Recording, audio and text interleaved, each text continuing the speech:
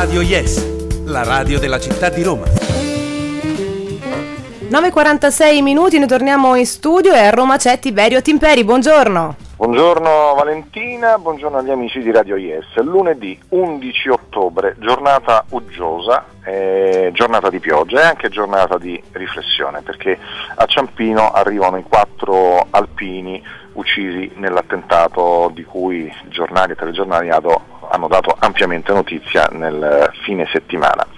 Ed è un contrasto stridente perché oggi arrivano quattro alpini che sono morti eh, servendo l'Italia e c'è una notizia che arriva da Genzano dove la polizia ha fermato quattro minori perché? perché sono entrati in una scuola, hanno rubato una bandiera e poi l'hanno bruciata, una bandiera italiana. Io non vorrei fare il patriottardo eh, a scoppio ritardato, però la loro dichiarazione è stata se stavamo solo a divertirci. Ecco, io non so se sia giusto, opportuno, non vorrei passare per, eh, per uno che fa polemiche strumentali, ma è una giornata in cui mh, tornano eh, dei militari chiusi in quattro bare, eh, che sono morti per un ideale, che sono morti per difendere la libertà, che sono morti eh, sotto una bandiera italiana. Questi quattro eh, ragazzi, due ragazzi e due ragazze, che rubano una bandiera e, e, e, la bruciano dicendo se stavamo solo a divertire è una cosa che in qualche modo mi ferisce e credo che potrebbe far sentire feriti anche in maniera eh, maggiore eh, i familiari di questi, di questi quattro alpini. Io ricordo, sono del 1964, ricordo che alle medie,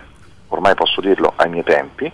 eh, si faceva l'educazione civica, eh, si studiava e c'era il rispetto della cosa pubblica, c'era la consapevolezza di essere cittadini, si studiava come funzionava il nostro paese o come almeno avrebbe dovuto funzionare e ci dava la consapevolezza di far parte eh, di un meccanismo chiamato Stato, eh, governato da una Costituzione. Ecco, mi sembra che oggi le regole stiano saltando. Io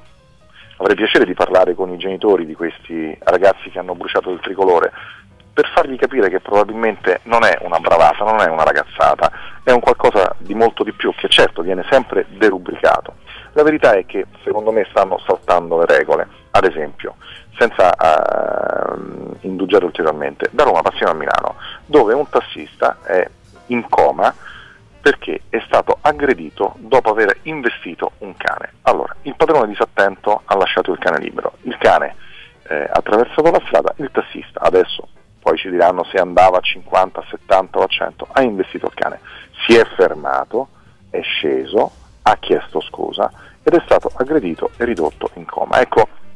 mi sembra che la violenza ormai eh, permei la realtà quotidiana, eh, il, il, infrangere le regole, il fregarsene, dire ma chi se ne frega. Eh, ad esempio stamattina ho accompagnato mio figlio a scuola, è in una strada che è a senso unico e puntualmente ci sono dei papà e delle mamme che con lo scooter infilano contromano. Il bambino è sul sellino. Per il bambino vedere che il padre fa eh, un contromano è normale e dunque cresceranno in questo modo. Allora io credo che tutti quanti noi nel nostro piccolo abbiamo una grossa responsabilità, quella di educare i nostri figli, quella di dare un esempio, quella di fare politica, perché il fare politica giorno dopo giorno non è entrare in Parlamento, non è rilasciare dichiarazioni, ma è anche comportarsi da cittadini e rispettare le regole. Possono non piacere, ma se tutti quanti da un momento all'altro decidessimo di far saltare le regole, di non rispettarle più, sarebbe l'anarchia e allora qui non è una questione di destra, centro o sinistra, bisogna rispettare le regole nelle città. Eh, a, Roma a, Roma c'è, tanta arroganza, io vedo che a Roma c'è tanta violenza, vedo che a Roma c'è tanta presunzione, vedo che a Roma c'è mancanza di umiltà. Un, tutti noi possiamo fare una cavolata in mezzo al traffico, ma non chiediamo mai scusa. Via Flaminia, eh, la mattina, quando la, la, città si comincia a riempire dei pendolari,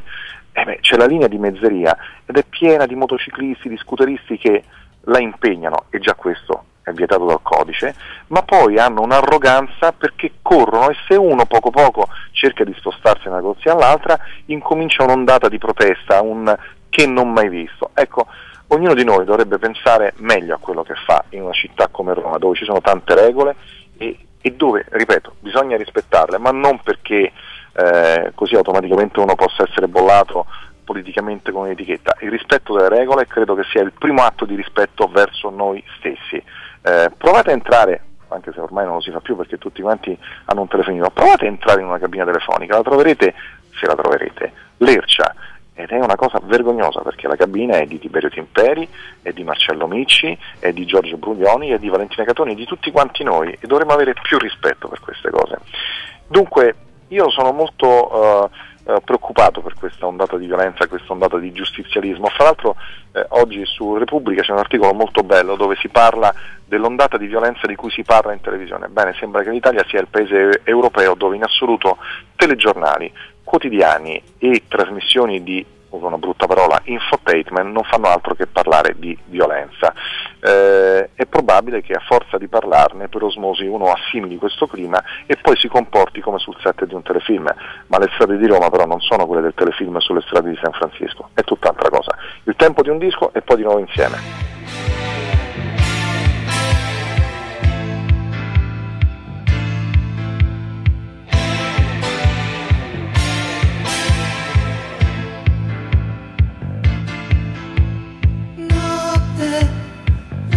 closer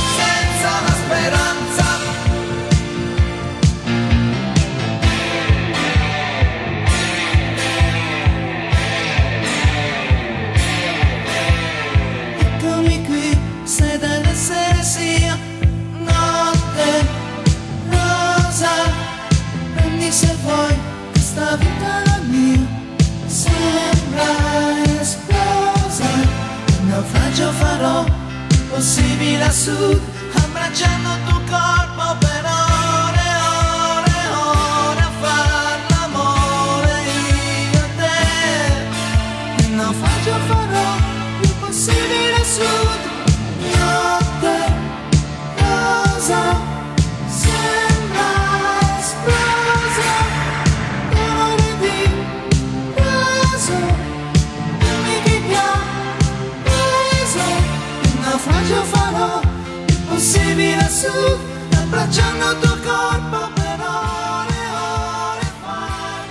Eccoci qui, dopo Umberto Tozzi torniamo a Tiberio Timperi.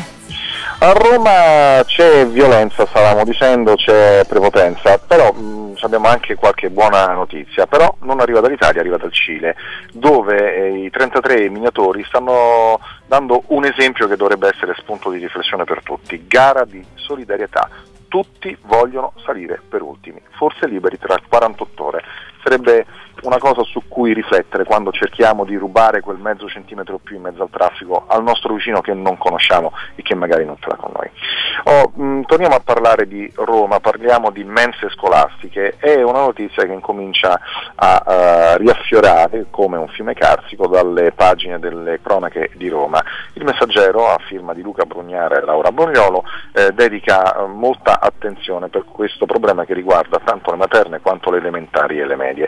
E i, genitori, I genitori denunciano che ci sia poca informazione sul redditometro e sulle scadenze. Scadenze nei vari municipi sono eh, state personalizzate, ad esempio io ve le leggo, primo municipio 31 ottobre, 15 ottobre per il secondo, 30 settembre per il terzo municipio, 20 ottobre per il quarto, 15 ottobre per il quinto, 21 ottobre per il sesto, 21 ottobre per il settimo, così anche per l'ottavo, per il nono municipio 14 ottobre, 21 ottobre per il decimo, 29 ottobre per l'undicesimo, 11 novembre per il dodicesimo,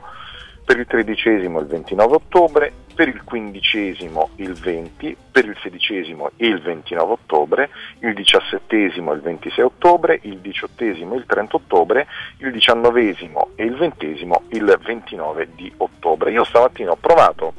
eh, a chiamare Laura Marsiglio, che è l'assessore della scuola, le ho mandato un messaggino, a meno che non abbia cambiato numero di telefono, non ha risposto. Lei ha detto che, eh, così ha dichiarato sul messaggero, che verranno fatte delle verifiche agli uffici locali, uffici locali che se lo riterranno potranno ulteriormente prorogare la scadenza. Ad esempio, al decimo municipio pare ci sia della Bolgia, eh, con, queste,